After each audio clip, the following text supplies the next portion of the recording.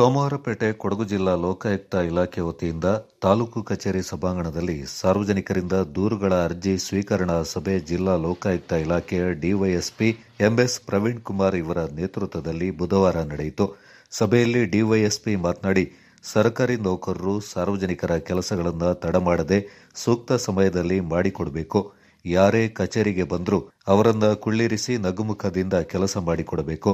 ತಮಗೆ ಸರ್ಕಾರಿ ಕೆಲಸ ಮಾಡುವ ಸಂದರ್ಭ ಯಾರಾದರೂ ಅಡ್ಡಿಪಡಿಸಿದರೆ ಕೂಡಲೇ ಸೂಕ್ತ ದಾಖಲೆಯೊಂದಿಗೆ ಪೊಲೀಸ್ ಇಲಾಖೆಗೆ ದೂರು ನೀಡಿದಲ್ಲಿ ಸೂಕ್ತ ಕ್ರಮ ತೆಗೆದುಕೊಳ್ಳಲಾಗುವುದೆಂದು ಸರ್ಕಾರಿ ಅಧಿಕಾರಿಗಳು ಹಾಗೂ ಪಂಚಾಯಿತಿ ಅಭಿವೃದ್ಧಿ ಅಧಿಕಾರಿಗಳಿಗೆ ತಿಳಿಸಿದರು. ಈ ಸಂದರ್ಭ ಕಂದಾಯ ಇಲಾಖೆಯ ಕಾರ್ಯವೈಖರಿಯ ಬಗ್ಗೆ ದೂರಿಕೊಂಡರು. ಕಳೆದ ಹಲವಾರು ವರ್ಷಗಳಿಂದ ತಮ್ಮ ದಾಖಲಾತಿಗಳನ್ನು ಸರಿಪಡಿಸಿಕೊಡುವಂತೆ ಕಂದಾಯ ಇಲಾಖೆಗೆ ಅಲೆಯುತ್ತಿದ್ದರೂ ಯಾವ ಕೆಲಸವೂ ಆಗ್ತಾ ಇಲ್ಲ ಅಂತ ಅಳಲು ತೋಡಿಕೊಂಡರು. ಕಾವೇರಿ ರಜನಿಕಾಂತ್ ತಮ್ಮ ಕೃಷಿ ಜಮೀನಿಗೆ ಹದ್ದುಬಸ್ತು ಸರ್ವೆ ನಡೆಸಿ ದಾಖಲಾತಿ ಮಾಡಿಕೊಡ್ತಾ ಇಲ್ಲ ಅಂತ ದೂರಿಕೊಂಡ್ರು. ರಾಧಂಬ ಪೌತಿ ಖಾತೆ ವರ್ಗಾವಣೆ ಮಾಡಿಕೊಡದೆ ಸತಾಯಿಸ್ತಾ ಇರುವ ಬಗ್ಗೆ ದೂರಿಕೊಂಡ್ರು. ಜಯಮ್ಮ, ಸುಬ್ರಹ್ಮಣ್ಯ ಹಾಗೂ ಚೋಮಣಿ ತಮ್ಮ ಜಮೀನಿನ ದಾಖಲಾತಿ ಮಾಡಿಕೊಡುವ ಬಗ್ಗೆ ದೂರಿಕೊಂಡ್ರು. ಡಿವೈಎಸ್ಪಿ ಮಾತನಾಡಿ, ರೈತರಿಂದ ಅರ್ಜಿಗಳನ್ನು ಪಡೆದ ಬಳಿಕ ರೈತರನ್ನ ಕಚೇರಿಗೆ ಅಲಸದೆ ಕೆಲಸ ಮಾಡಿಕೊಡಿ.